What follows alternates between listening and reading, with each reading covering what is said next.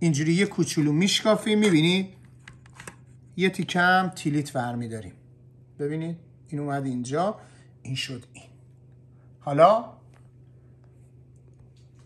مشتی یاد بدم. اولین چیزی که نیاز داریم آه نیم کیلو مخلوط گوساله و گوسفند. بیا اینجا. دومین چیزی که نیاز داریم دیویست گرم لپه.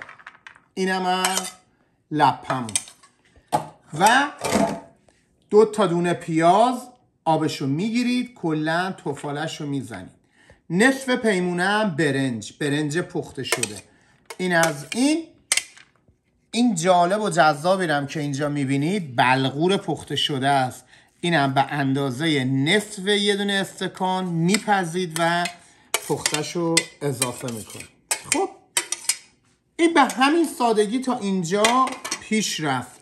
اما میایم اینجا. یه سبزی داریم مخلوط نعنا و جعفری. اینم از این. نیاز به یه دونه هم از اینا دارید به اما این یه دونهش خیلی زیاده. باهاش میشه دوبار درست کرد. من نیاز دقیقا به نصفش دارم. اینم نصفش اضافه می‌کنم. این از این. می‌دونید چرا کوفته های قدیمی ها خراب نمیشه وا نمیره و مشتیه؟ دلیلش اینه که یه چیزی بهش می‌زنن به اسم آرد نخودچی اینم از آرد نخودچیمون اینم فوت کوزگریشه. حالا آرد نخودچی چقدر می‌خواد زیاد بهش نمی‌زنید نگاه کنید یک دو دو تا قاشق چای خوری. بذار یه دونه دیگه هم بزنم به عشق اینم سه و و سلام. حالا میریم سراغش. که با گوشکوب مشتی بیفتیم تو جونش مثل مامان بزرگا اینا رو با هم دیگه مخلوطشون کنیم. اینا رو میکوبم و بهتون نشون میدم. فقط یه نکته ای رو بهتون بگم. لپه رو گفتم 200 گرم 200 گرم پخته شده است نه اینکه خام 200 گرم بزنید یه حالا میشه ببینید لپه رو از جلو بگیر ازم اینم نگاه کنید لپه باید به راحتی خمیر نشه. می‌گیرید چی میگم؟ وقتی که فشار می‌دید یه مقداری جوندار باشه نگاه کنید اینها می‌بینید جوندار. حالا برای کوبیدنش یه تیکه رو از اینجا جدا می‌کنید این تیکه نگاه کنید اینو میکوبید خیالتون راحت میشه. تیکه بعدی یه بار اینجوری بکوبید کلشو خیالتون راحت میشه. نه اینکه بعدی علکی همه رو بکوبید. یه تیکه رو ببینید مش کردید میرید جلو. نگاه کنید. اینها می‌بینید همش له میشه. این چربی هم که داره در میاد چسب بشه. ببینید الان نگاه کنید این اصلا خودش کوفته آماده شده مشتی خوشمزه. اما اینا رو میکوبم کلا همه رو صاف کنم بعد میریم برای ادویه زدن. این از این آماده شد میریم برای ادویه. زرچوبه داریم. یه قاشق چایخوری. پودر اینو بزنم اینجا. پودر سیر داریم. اینم یه قاشق و آویشن داریم. اینم آویشن سایده نشده است. یه قاشق و مهمتر از همه ادویه کاری داریم. اینم ادویه کاری یک و یک و نیم قاشق ادویه کاری بهش می‌زنیم. میام سراغ فلفل سیاه به اندازه سلیقتون حالا من کرش می‌زنم خیلی بیشتر حال میده. وقتی گل می‌خوره یه طعم خاصی داره نسبت به سایده شدهش. نمکم به اندازه مورد نیاز. تقریبا 12 13 گرم نمک نیاز داره. حالا چون آبم داره دیگه نگران نباشید. خب ادویه ها هم که زدیم یه بار دیگه اینو میکوبیمش و میریم برای گرد کردنش. اینم از این آماده شد. یه چیزی نیاز داریم به اسم آب دست نوک پنجه ها رو باش خیس می‌کنیم. اندازه یه نارنگی کوچولو. ببینم. چون اگه می‌خوایم پرس بکنیم این ستاش میشه یه پرس قهوه خونه این از این. یه نمه دست رو دوباره تر می‌کنیم برای اینکه پرداختش کنیم. ببینید هیچ ترکی تو هیچ قسمتی نداره. اینا رو که پرداخت کردیم میچینیم و می‌ذاریم کنار. و سعی می‌کنیم که سایزا و اندازه ها همه با هم یکی باشه. اینا رو گرد کنم و برگردم. آماده شد اونا رو همه رو گردش کردیم. با حال یه دست چند تا هم اضافی اومد. این اضافی ها رو هم به همین شکل نگاه کنید. ببینید یک دو سه چهار پنج شیش. اینم هفت نه تا هم اینجا شد. وقتی که بلغو رو می‌زنی حجمش بیشتر میشه. برنج رو می‌زنی حجمش بیشتر میشه. ببینید نیم کیلو چقدر شد. حالا اینم بسته بندیش می‌کنید به همین شکل. هواگیریش می‌کنید یه تا از اینجا میری داخل فریزر دفعه بعد می‌تونید داخل سسش درست بکنید با همدیگه بریم سسش رو درست کنیم. خب برای اینکه سسش رو درست کنیم نیاز به یه تیکه فلفل دلمه سبز داریم که به این شکل هر مقداری ریزتر و بهتر خردش می‌کنیم. اگه رستوران دارید سعی کنید ریز ریز کنید و آبش رو صاف کنید. چون داخل رستوران خیلی از این خوششون نمیاد که فلفل سبز داخل سس غذاشون باشه. میام سراغ پیاز. در رابطه با پیازا یه مطلبی بهتون بگم. پیازا رو نازک نازک تا جایی که امکان پذیره. خوردش کنید. می‌بینید چقدر نازک زدم به این نازکی. سه چهار تا دونه پیاز ریزم میخوادش. هر مقداری که پیازش بیشتر باشه خوشمزه تر میشه باقیشو بریم پای گاز. بهتون بگم فقط یه رب مشتی هم نیاز داریم. بریم پای گاز و کار شروع کنیم.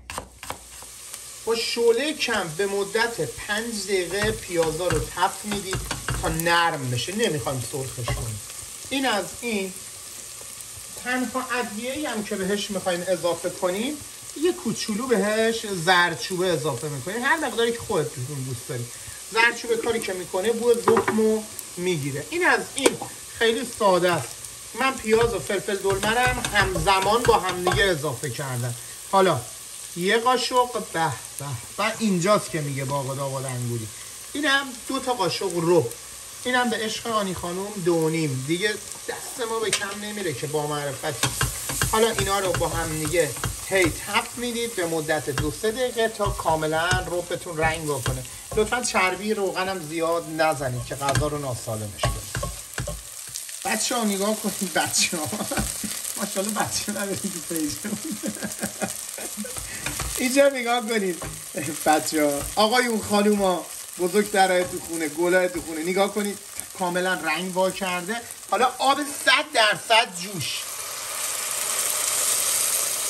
بعد اینجوری قل بزنه دیدید؟ حالا باید اندازه کوفته هامون رو در نظر بگیریم تا کمر کوفته هامون بشه. پیازارم همش نزنید. ببینید اینها تا کمر کوفته هاست یه ذره دیگه می‌خواد. این از این حالا دو تا لیمو امانی مشتی هم دارم که دیگه اینو اصلا خراباتیش می‌کنه. اینا پوسکنده است این پروداکت ها این از این. اینا رو هم آروم همینجوری میندازیم. ولی درش رو خواهش می‌کنم نبندید. ببندید. میشه آش گوش کوبیده خیلی باحال میشه. همش وا میره. قلقش هم که وا نمیره همینه. حالا می‌ذاریم و تا خودشو بگیم به به این ریز قول تو قهزا جادو می‌کنه نگاه کنید پخت آماده شد. بریم برای سرو کردنش. اینجا رو نگاه کنید. به این میگن خرابات.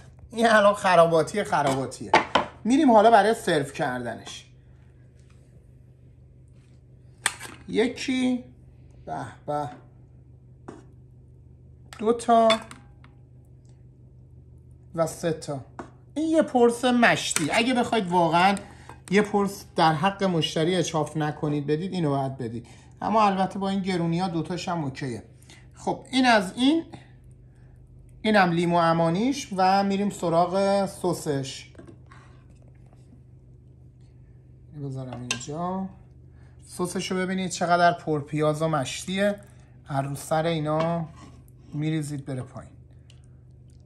خب این از این. آه اینم از این و میایم اینجا. اینجا رو ببین. به به به نونم تیلیت شده. حالا برای چی ما گوشکوب آوردیم؟ بهتون میگم. این خوشگلا رو اینجا ورشون میداریم. آقا بچه ده ساله هم این فیلم رو ببینه می‌تونه درست کنه. آشپزم باشی به راحتی می‌تونی درست کنی. کاری که می‌کنیم این لیمو احمانیه رو میکوبیمش می‌بینی؟ لیموه که کوبیده شد. اینم ملاتش. حالا می‌خواید باحال بشه اینجا رو نگاه کن. یه ذره این ترشیه شد مزر خوری. یه ذره این ترشیه بهش حال میدیم و تیلیتمون رو بهش اضافه می‌کنیم. تیلیتش رو کم می‌زنیم زیاد نمی‌زنیم که اصطلاحا میگن گل بشه. خب حالا اینو میگم برای بچه‌ای که خارجن یاد بگیرن ایرونی ها که همه بلدن. این از این ترشی رو که زدیم بهش ولی حیف اگه یه لیمو باحالم اوف اوف بهش نزنیم خب این اوقاتی که کردیم. یه دونه این توپولا رو میاریم اینجا. اینجوری یه کوچولو میشکافیم می‌بینید یه تیکم تیلیت برمیداریم. ببینید این اومد اینجا. این شد این. حالا؟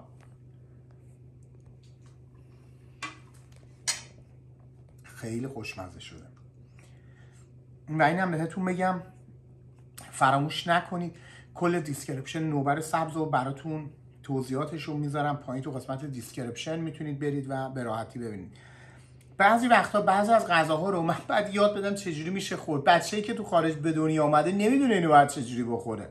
باید یاد بگیره چجوری مشتی بخوره. فردا اگه وقتی رفت ایران ما که نمی‌تونیم بریم هیچ ولی اگه تو رفتی ایران بدونی بلد باشی. اگه رفتی قهوه خونه چجوری بخوره؟ اینا آدابش آدابش هم دارم بهتون یاد میدم. بزرگترها که هستن ریش سفیدا کارشون درسته. گفتیم آقا ما دست به کار بشیم. به هر حال یه چیزی به نسل جوانمون یاد